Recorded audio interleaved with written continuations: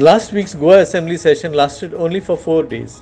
What are some of the other issues which people would have liked to be discussed in the House? Watch the Herald TV debate Point Counterpoint, which will go on Herald TV and YouTube at 9 am on Friday, 7th April 2023 and repeats thereafter. What happens now?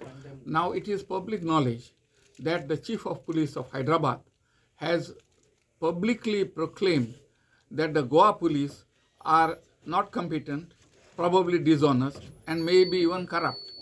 The Hyderabad police is not even prepared to, to act along with the Goa police because they suspect the credibility of the Goa police.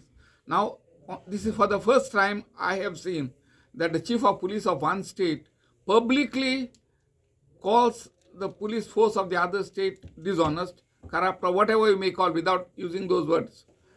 Now, and there has been no reaction from our side. I, I had felt that the issue should have been raised in the House because it is an insult to the entire quality of Goa that our police force is totally corrupt and dishonest. It is something, of course, that most of us say.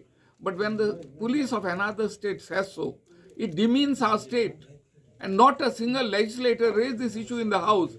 This is something that is abhorrent. This is something that cannot be understood at all. I do hope that in, at least someone will take up the issue. If indeed the Goa police are corrupt and dishonest as the Hyderabad police says, and he must be having reasons for that, then we must take action against the corrupt officers.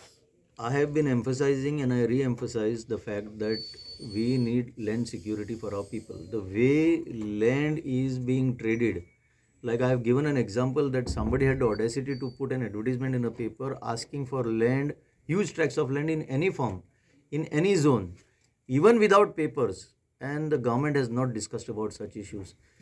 There is a case in Sancoale where one builder is offering 2000 flats in one colony. So you can imagine the kind of demographic imbalance that is, uh, you know, which we are heading for.